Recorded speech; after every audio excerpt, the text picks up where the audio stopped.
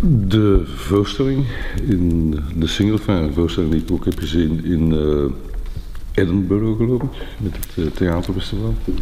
Is een zeer merkwaardige voorstelling omdat het een combinatie is van twee dingen eigenlijk. Uh, is natuurlijk meer bekend omwille van zijn werk dat vooral filmisch is.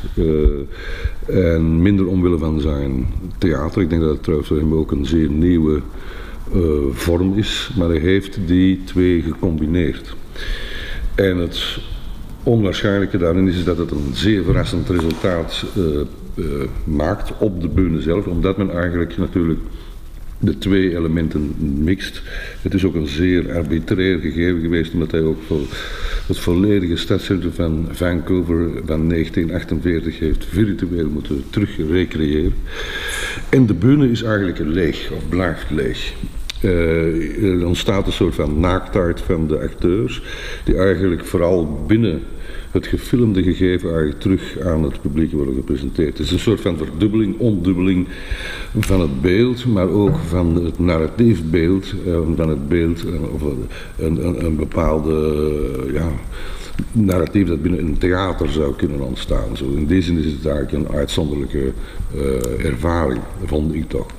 Het begint ook uh, met een trein die eigenlijk als een soort van ja, bijna een soort van uh, kogel door het beeld komt. De treinen zijn voor Stan eigenlijk altijd belangrijk geweest. Nu, mijn verhouding met Stan Douglas is een zeer lange verhouding, omdat ik Stan natuurlijk al meer dan 25 jaar ken. En het is ook een van de redenen geweest waarom ik eigenlijk bij de galerie zit waar ik nu bij zit. Want ik weet nog goed als David Swinder bij mij kwam na de documenten van 92 van Jan Hoed, waarin ook Stan Douglas eigenlijk zat, toen nog onbekend als kunstenaar. Ik hem vroeg wat hij naast mij ook nog boeiend vond. En dan heeft David Swinning gezegd Stan Douglas. Wat ik boeiend vond in die documenten van Stan Douglas was niet zozeer het uh, dubbel geprojecteerde scherm met de jazzmuzikanten, uh, maar eerder de short stories die zich bevonden boven, dus de cloakroom, waar men eigenlijk ja, zijn jas en zijn tas en whatever kon uh, wegstouwen. En dat was voor mij eigenlijk een van de beste werken van die documenten. En het is omwille van die reden dat ik dan ook heb toegezegd, omdat David toen nog geen galerie had principe, om met David in, de, in zee te gaan. Dus dat is een zeer lange verhouding. Het is ook een vriendschapsverhouding tussen mij en Stan. Het is ook een, een figuur die ik bewonder omwille van zijn extreme integriteit in het werk. Het is ook iemand die niet speelt op het idee dat van het feit dat hij een andere haarskleur heeft.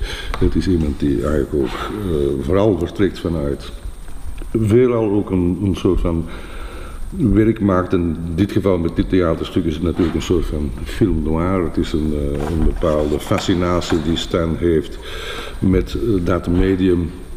En men voelt ook eigenlijk als men in een theater zit die discrepantie tussen aan de ene kant het zwart-wit beeld van de film en uiteindelijk de wezenlijke aanwezigheid of de présence van de acteurs. Het, is, het blijft een soort van extreem spanningsveld. Het is ook zo dat de acteurs eigenlijk elkaar filmen. Dat is, ze zijn eigenlijk interactief in dat gegeven. En in die zin ontstaat er een soort van discrepantie tussen het aangeleverde tijdsbeeld en de werkelijkheid waarin eigenlijk het, ding zich volledig afspeelt. En ik denk dat al die elementen tezamen uh, een zeer merkwaardige ervaring maken die mij alleszins toch uh, extreem uh, onder de indruk uh, heeft achtergelaten. En in die zin denk ik dat het best is dat men daarna gaat kijken.